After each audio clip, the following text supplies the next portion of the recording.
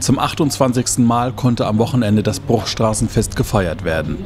Zwar waren die Anwohner in Feierlaune, allerdings belohnte das Wetter die Aktiven nicht. Regen mit nur vereinzelten Pausen ging über dem Straßenfest nieder.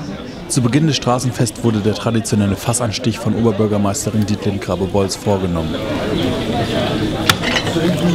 Oh Mann!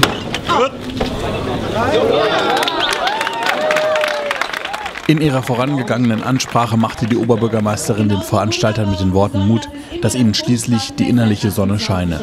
Für die Kinder bot das Fest verschiedene Attraktionen wie Schminken und eine Sechsstationen-Olympiade. Gestärkt werden konnte sich neben kühlem Gerstensaft und anderen Kaltgetränken mit Würstchen vom Grill, Kuchen, Waffeln und zum Aufwärmen Kaffee. Die mit nur knapp 1000 Gästen wetterbedingt gering ausgefallene Besucherzahl konnte ein abwechslungsreiches musikalisches Programm erleben. Auf dem Bühnen-LKW machten am Nachmittag echt Jazz den Auftakt, die das Publikum in der Bruchstraße mit einem Mix aus Eigenkompositionen und Standards unterhielten. Die weiteren Bands des Tages waren die Rigbys sowie Miller und Heath. Über den Tag eingenommene Spenden sowie die Einnahmen aus einer durchgeführten Tombola gehen an die Fördervereine der Sophie-Scholl-Schule und der Helmut von Bracken-Schule. Let me sing forevermore.